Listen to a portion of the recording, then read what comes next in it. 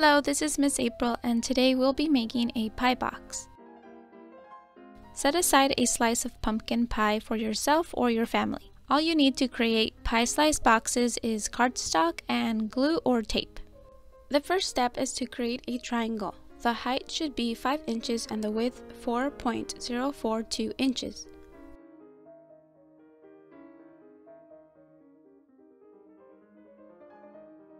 Create a rectangle with a height of 5.373 and a width of 2 inches.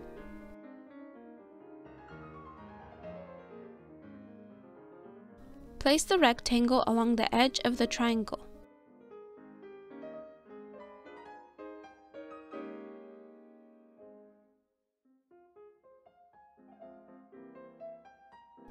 With the polygon tool, create a trapezoid that connects to the bottom of the rectangle. Adjust the shape if you need to.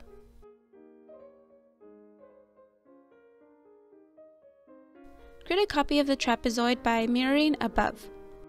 Rotate the copy and place it at the top of the rectangle.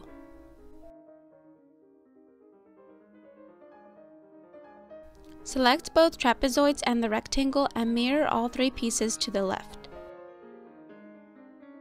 Align those pieces to the left side of the triangle. You only need the bottom trapezoid on the right side, so delete the one on the top right. You will then create another rectangle that is the same size as those two rectangles at the top. The width should be 4.042 inches and the height 2 inches.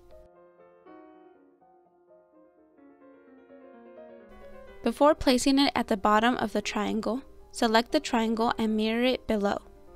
Now you can align the rectangle to the top triangle and the bottom triangle to the rectangle.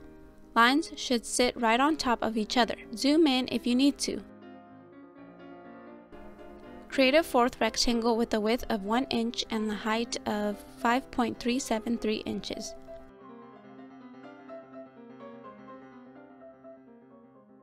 Place along the edge of the bottom triangle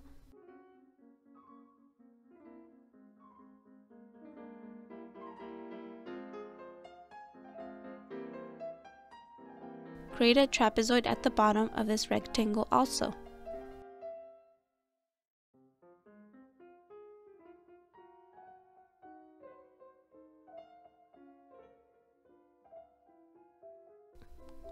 And then mirror left like we did before. Delete the trapezoid on the right.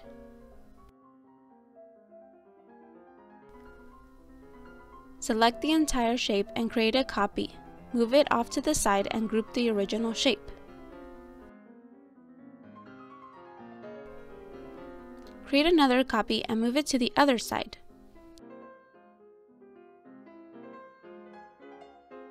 Create lines on top of all the lines that are on the inside of the shape. Make the line another color so you can see it better.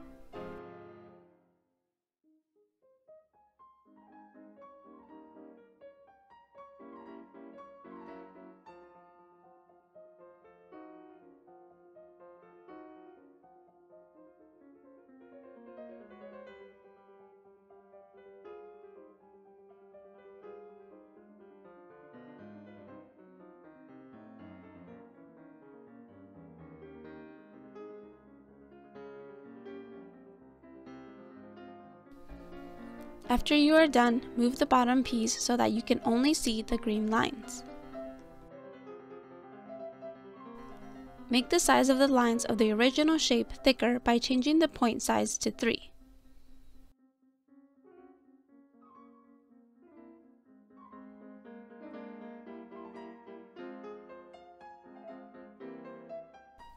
Trace only the outer edge of the entire shape. Delete the rest so that you only have the outline. Select all the green lines and place on top of the outline. Place the lines so that they match up to where they originally were.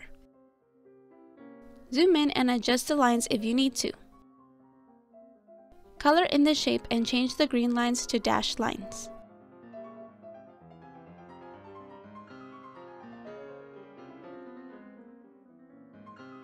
Group the entire design and put it off to the side. Use the copy to create the top part of the pie box. Keep only the bottom and delete the middle rectangle and everything else above it. For the crest, make three large circles at the top of the triangle. Color in the circles and weld them together.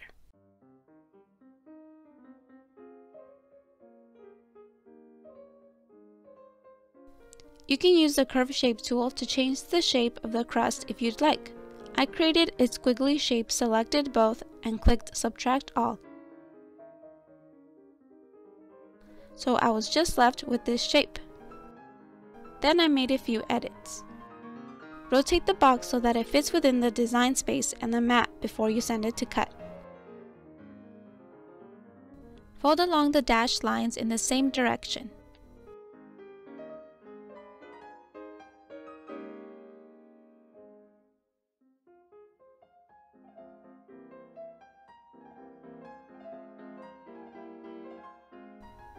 Glue the small tab that is at the tip of the pie box.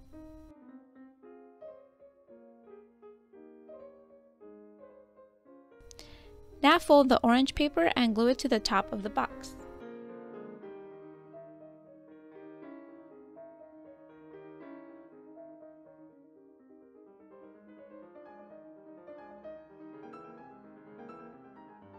Next, glue the pie crust to the top.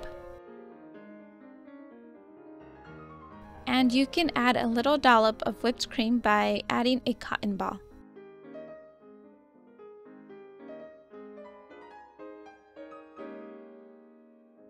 The box can easily be opened and closed to place a pie slice inside, but you have the option of gluing it together beforehand or even using glue dots once the slice is inside.